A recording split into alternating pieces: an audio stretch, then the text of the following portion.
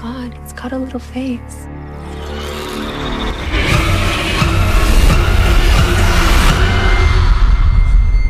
The Seed is a horror science fiction movie based on alien invasion. What started out as Girls' Weekend away in the Mojave Desert becomes a tale of horror, death, and alien invasion. Well, the concept idea behind the seed was interesting enough, but the movie itself, in terms of being enjoyable and entertaining, not so much. The acting performances were actually good enough. The movie had very very small cast, but I will say that they actually carried the movie well enough with their performances. The storyline was not engaging. Cinematography is good and other technical aspects are average. In the genre, they have mentioned comedy, but it's not funny. It is a different kind of movie and not everyone will gonna enjoy it.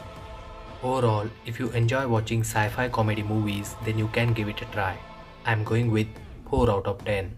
And thank you so much guys as always for watching. Make sure to hit the subscribe button if you found this video helpful. I'll see you guys in the next one. Till then, take care, bye bye, and be safe.